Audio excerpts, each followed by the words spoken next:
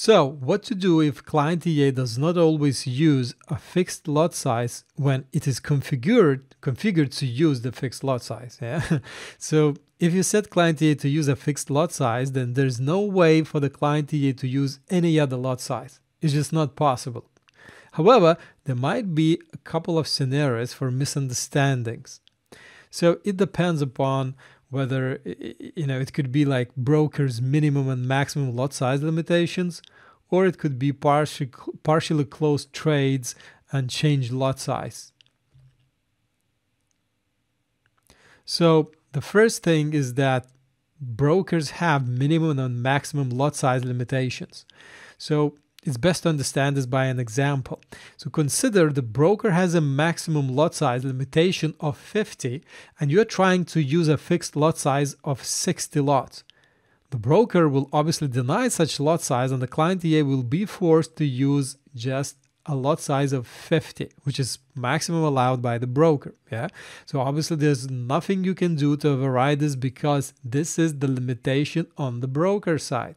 Well, you tried, you know, you might try calling them and say, hey, could you raise my uh, maximum lot size? And they, they might do this for you. You know, if it's someone trading at 60 lots, you know, pretty big fish maybe, they might take your uh, request and uh, make it happen. But for most of us, it just won't. Yeah. So, in um, like to avoid this, there is a parameter called split lots it's a function in the client EA that you can split that 60 lot trade into two trades of 50 and 10.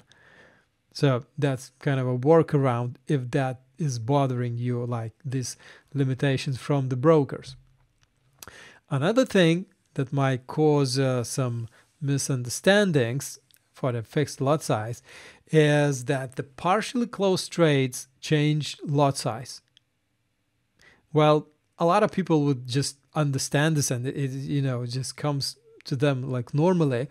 But um, usually forex newbies don't know about partially closed trades and you know what is that and so on. So i'll just give you an example. So consider the master opens a trade of two lot size yeah and the client copies it at a fixed size of one lot. So so obviously in this example, we choose the fixed lot size of one lot, yeah, for the client.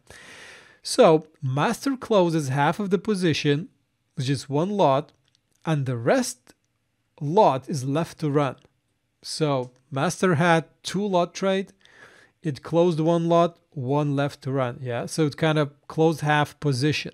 So the client will now have to close half of the position as well, but for the client, half the position is 0.5 lot because it has a one lot running yeah? So it closes 0.5 lot and the remaining 0.5 lot will be left to run on the client account.